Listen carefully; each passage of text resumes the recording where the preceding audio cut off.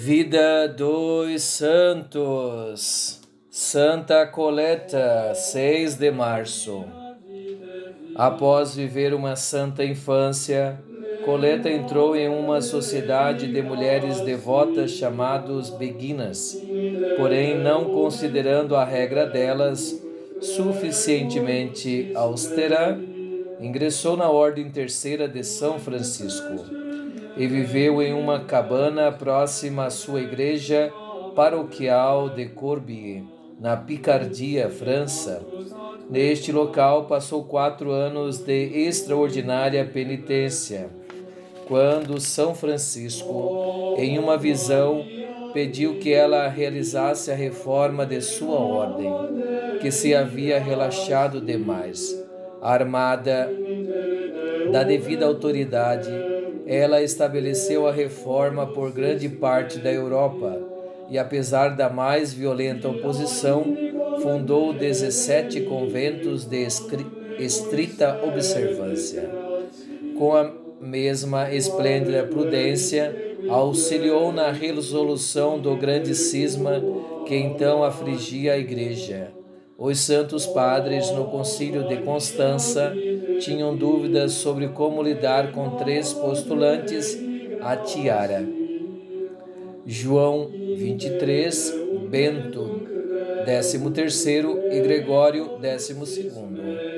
Nesta crise, Coleta, junto a São Vicente Ferrer, escreveu aos padres para que dispusessem Bento XIII, o único que negava consentir em novas eleições. Assim se fez, e foi eleito Martinho V para o bem da Igreja. Coleta também auxiliou no concílio da Basileia Ferrara Florença, por meio de seus conselhos e orações. E quando mais tarde Deus lhe revelou o espírito de revolta que assomava, ela advertiu os bispos e legados que se retirassem do concílio.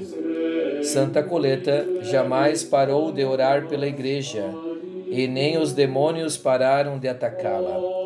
Aglomeravam-se à sua volta como insetos medonhos, zumbindo e espicaçando sua pele macia lavavam a sua cela os cadáveres putefratos de criminosos públicos. E, assumindo formas monstruosas, atingiam-na com golpes terríveis ou surgiam com a aparência mais sedutora, tentando ao pecado por meio de muitas ilusões. Santa Coleta certa vez queixou-se que nosso Senhor, com nosso Senhor, que os demônios impediam de orar.